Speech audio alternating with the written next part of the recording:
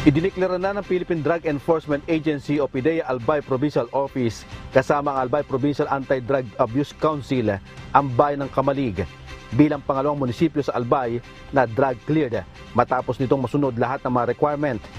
Ang formal na deklarasyon ay isinagawa sa pangunguna ng PIDEA Region 5 Director at Chairperson ng Regional Oversight Committee na si Edgar Hubay kasama ang mga representante mula sa Department of Interior and Local Government, Philippine National Police at Department of Health. Ayon kay PIDEA Albay Provincial Officer Noe Briguel, maliban sa Kamalig at Hobelyar na una nang idineklara bilang drug cleared noong 2019, may apat pang munisipyo sa Albay na susunod na maidedeklarang drug cleared. Ang pagkadeklaraan niya hindi pang habang buhay at pwede itong bawiin kung magiging laganap ang droga at walang kaukulang aksyon na maisasagawa. Magkakaroon din ng validasyon bawat anim na buwan ang PNP at PIDEA matapos na maideklara ang isang bayan na drug cleared.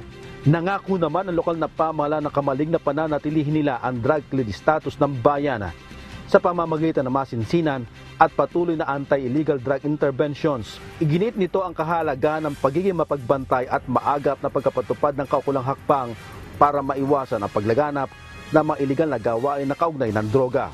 Natamo rin ng kamalig ang mataas na pwesto sa Anti-Drug Abuse Council Audit noong nakarambuan ng Hunyo matapos makakuha ng 90.5% rating. Diyos ang aming sandigan, serbisyo publiko ang aming pinahahalagahan. Jerry Galicia, humahataw!